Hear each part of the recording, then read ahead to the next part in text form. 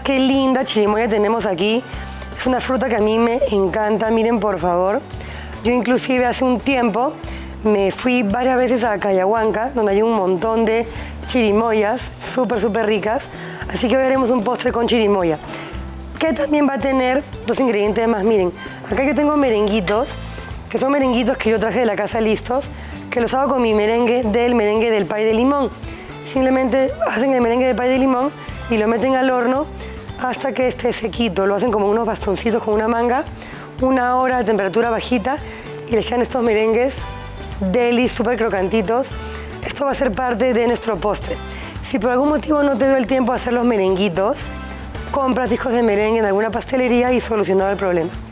Otro ingrediente para nuestro postre va a ser maja blanco hecho en casa. Miren, solamente dándole punto a una condensada y a una evaporada, yo le pongo plastiquito que toque. ¿Por qué? Porque si tú lo dejas al aire libre, se le forma como una costrita y además cualquier mosca puede obviamente aterrizar ahí en el majar blanco. Entonces cuando uno puede hacer las cosas en vez de comprarlas, yo obviamente sugiero hacer eso porque todo lo que se ha hecho en la casa es mucho más rico. Y miren, simplemente es mover un ratito la condensada con la leche evaporada, con un poquito ahí de paciencia y van a obtener este maja blanco muy rico, eh, más suave de sabor al que uno compra, que es más oscuro. Y miren nada más que delicia. Entonces, teniendo esto ya listo, en un momento haremos una cremita chantilly que va a complementar todo esto, que es solamente crema de leche con azúcar en polvo y vainilla. La batiremos hasta que esté en punto chantilly, pero quiero antes mostrarles el tema de la chirimoya. Entonces, ¿qué hacemos? Bueno, primero comprar una chirimoya que esté súper rica, ¿no? que cuando uno la abra no la vaya a encontrar color marrón, tiene que estar así.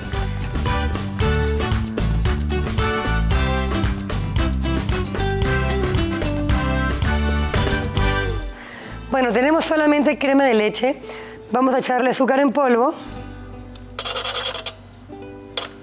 Y para darle un sabor así como que también más rico, un poquito de vainilla. Siempre tiene que estar fría la crema de leche.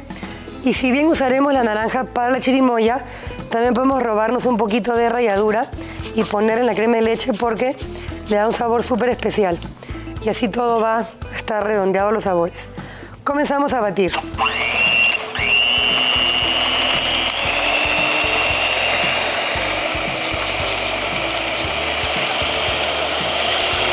Mientras se bate la crema de leche, acá tenemos la chirimoya que ya está lista. Y le ponemos ralladura de naranja y también jugo de naranja.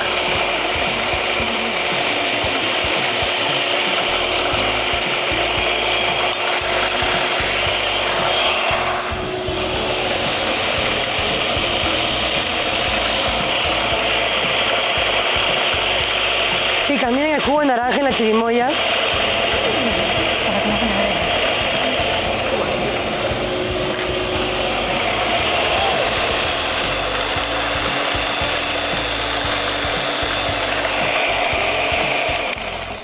Perfecto, ya tenemos lista la crema de leche y ahora vamos a armar los vasitos.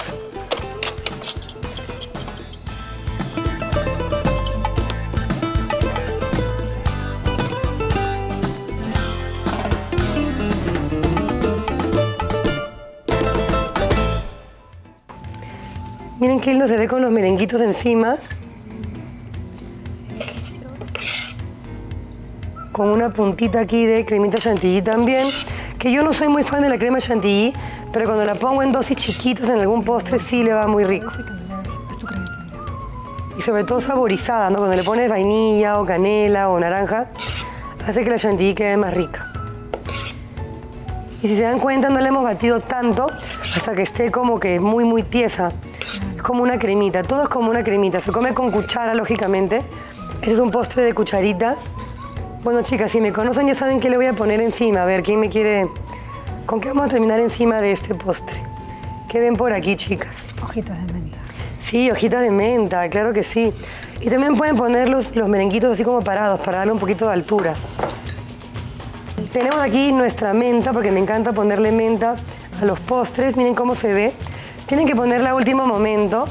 em, si la dejan en la refrigeradora se, se va a morir la menta. Entonces, miren qué lindos los vasitos. Y bueno, tengo menta para, para esta cantidad de vasitos. Claro, la, es la Bueno, estoy feliz de cómo se ve. Se ve muy bonito que cada uno tenga su vasito. Y acá tengo, a ver chicas, tres cucharitas. Ustedes. Les reparto. Un maxi. Bueno, chicas, traje mis cucharas especiales. Linda. Sí.